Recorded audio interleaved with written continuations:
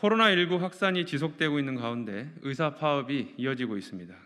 코로나19라는 비상시국에 파업에 끝끝내 돌입한 의사단체에 심각한 유감을 표하며 하루속히 현장으로 복귀할 것을 요구합니다.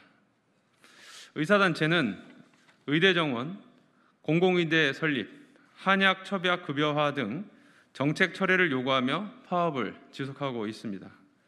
그러나 계속해서 강조했듯이 한국의 의사 수는 인구 1000명당 2.3명으로 OECD 평균 3.5명의 3분의 2에 불과해 회원국의 최저 수준입니다. 코로나19 상황만 보더라도 의료 인력을 확충하는 것은 불가피한 일입니다.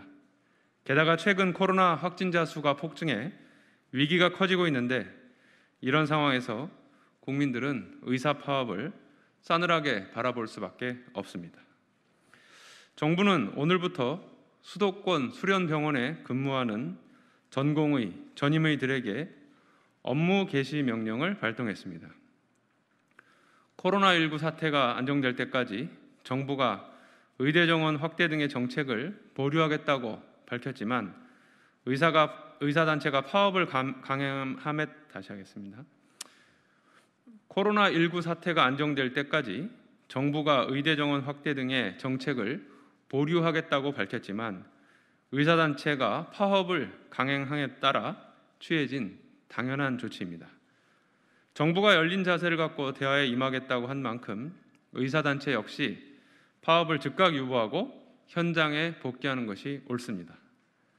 정부, 의료계, 국민이라는 삼각공조의 한 축이 무너지면 코로나19 방역 체계 전체가 무너지게 됩니다. 의사단체의 파업으로 환자들이 제때 치료를 받지 못해 피해가 커진다면 의사단체는 그 책임을 피할 수 없을 것입니다. 환자의 생명과 건강을 지키는 직업적 소명을 의사단체가 유념하기 바랍니다.